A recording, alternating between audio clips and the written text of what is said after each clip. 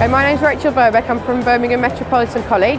My job role is Associate Director for Schools Development and Partnerships. The Skills Show is an opportunity for young people from across the whole of England to come and experience the different skills that are involved in all of the different areas that colleges and employers can provide Uh, everything from hair and beauty to technology, vehicle, motor, maintenance, absolutely anything that you can possibly think of is here today. Our new strapline is about be bright, be right, be choosing the right course, being on the right career path and choosing the right skills for a career that you'd want to do in the future. I would like to think that really that, that what we've shown today and what we've seen from different students from all over, especially the West Midlands, have actually had the opportunity to see what we do, find out more about the college and actually consider it as an, as an option. I've been watching a space simulation. It's like a virtual environment. Like you can see everything like you're looking around.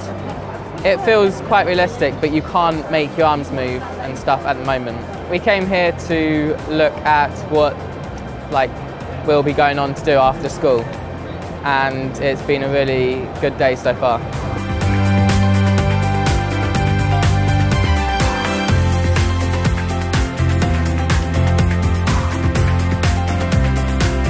I'm Adam Ravenscroft. I'm here with my uh, colleague Ed Peffick. Um, we both work at Mondelez International, that's at Cadbury in Bournville. And at BMET we're studying a foundation degree in electronic and electrical control engineering. Uh, we're here today in a competition. It's all to do with Siemens PLCs and programming that and getting flow rates correct in this piece of apparatus. I think we're doing well. Um, all of the targets that we've been set we've already achieved and there's a couple of extra ones that sort of seen as tiebreakers. We're currently working on those and ironing out a few problems, so hoping to win. I think the skill show is brilliant. Like, there's a lot of young people here and I'm hoping it's going to inspire a handful of them. I haven't had a chance to look around everything yet, but the bits and pieces that I've seen that's nearer, really good, impressive. Everyone seems really engaged and interested in what's going on.